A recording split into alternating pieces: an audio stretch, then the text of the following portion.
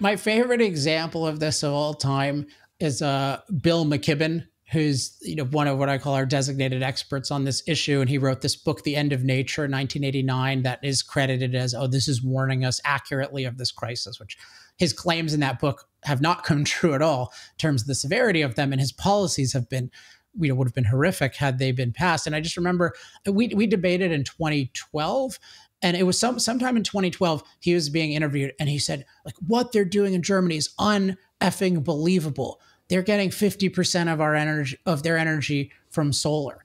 And it's like okay, that's definitely what happened and he was talking in December. And it's like okay, so first the first error was he was he, he what he had done is he had taken like a daily high in June and then he had taken that as so it was a daily high of electricity mm-hmm. one coming from solar. So one is it's a daily high right? It's not the average throughout the day. It's just like a peak during the day. And then he's only taking electricity not energy even though most of our energy use in most places is not from electricity. It's for things like transportation and also burning fossil fuels directly for very high amounts of heat and sometimes for very clean residential heat uh, via natural gas. This is part of the reason Germany is super dependent on Russia because they use natural gas for so many things, including to accommodate the unreliability of solar wind. And then also, it's just funny that he was taking the statistic from June and he just assumed that it was still true in December.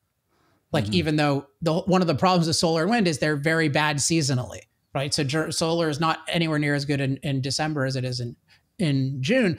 And I'm just thinking, oh my gosh, this is the guy who's telling us what to do about energy, right? Who doesn't know the difference between electricity and energy, who takes daytime highs and equates them with averages, and who equates solar in December with solar in, in June. Mm. yeah, so it's it's so important to be precise about these things.